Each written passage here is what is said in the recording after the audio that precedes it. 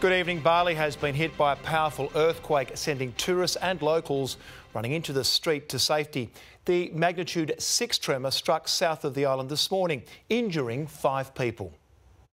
A terrifying wake up call in Bali, the long and powerful shudder sending locals and tourists running to safety.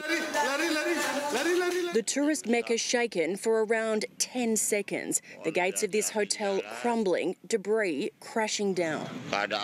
It struck around 8.20am local time, jolting these Aussie tourists out of bed. Wow.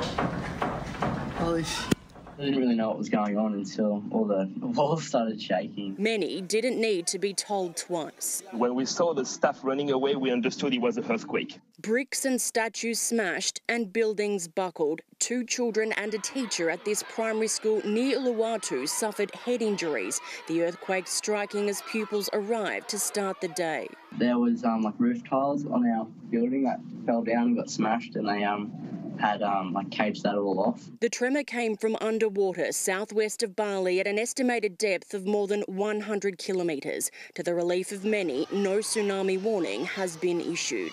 Eerily, hundreds of fish were found washed up on a beach in Canggu last night, hours before the quake struck. Indonesia, no stranger to strong earthquakes, this quake coming just a couple of days after a magnitude 7.3 tremor rocked the eastern Indonesian island of Halmahera, killing two people.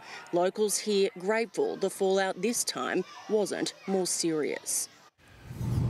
And Asia correspondent Renee Henry joins us now from Bali. Renee, what's the advice to tourists?